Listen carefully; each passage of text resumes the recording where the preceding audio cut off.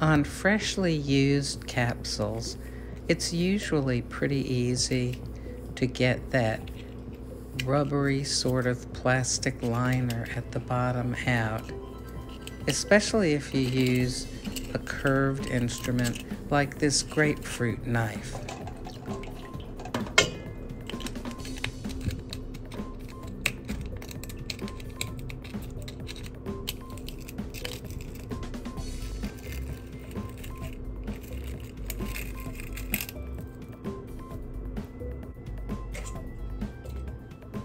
You'll want to pop those clean capsules that have had the plastic removed into some very hot soapy water because especially if they've been sitting around they could have had mold growing and also coffee contains oils and you want to get all those oils off so you have fresh clean capsules.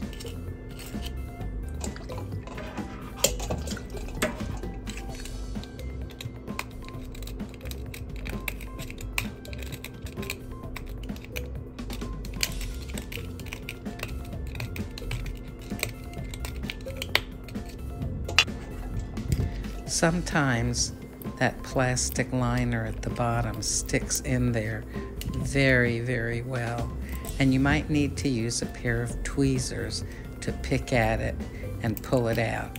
Sometimes it comes out in one piece, and other times you may have to spend several minutes picking at little pieces to remove them.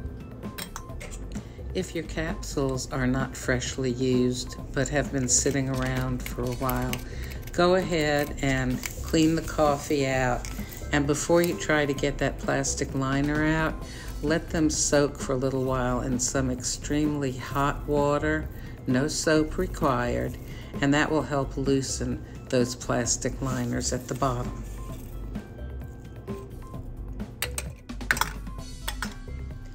After the capsules have been emptied and had the plastic liners removed and have been sitting in the hot soapy water, give them a swish around because you want to remove all the oils on the inside of the capsules or any mold that might have been growing in the wet coffee that had been inside of them. Next, you want to rinse that soapy water off so that no more soap remains on the capsules.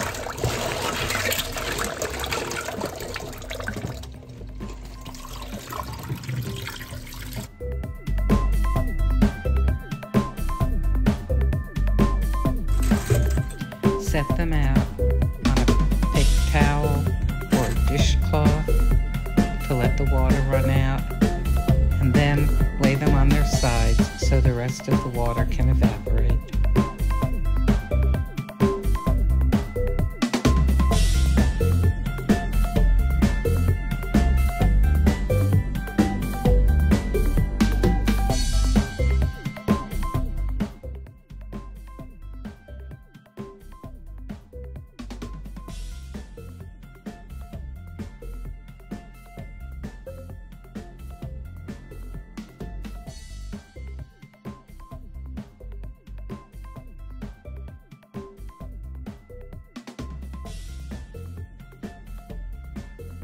Now you're ready to use your capsules in a project and you may want to use them crushed.